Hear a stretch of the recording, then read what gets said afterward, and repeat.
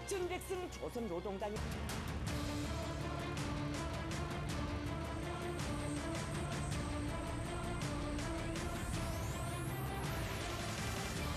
있다는 것이 주체 조선의 불변의 신념이고 의지입니다.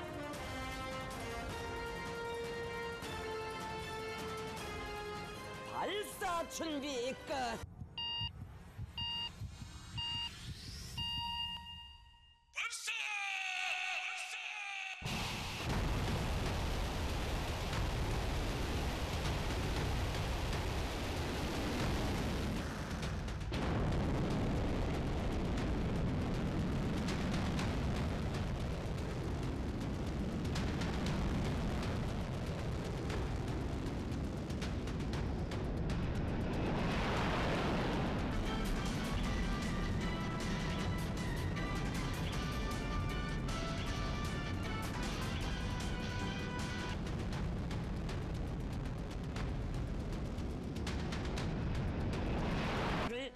4,135초간 비행하여 조선동해 공해상의 예정 수역에 정확히 탄착됐습니다.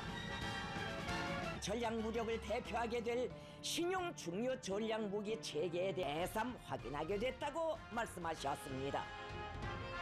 미국과 적대 세력들의 군사적 위협이 노골화되고 있는 위험 추강세하에서 미국과 남조선 것들을 비롯한 초정 세력들에게 우리 핵에는 핵으로 정면 대결에는 정면 대결로 대답할 것이라고 엄숙히 저는 보도의 경각성을 가지고 훈련을 강화하여 임의에 완벽하게 수행해 나가야 한다고 말씀하셨습니다.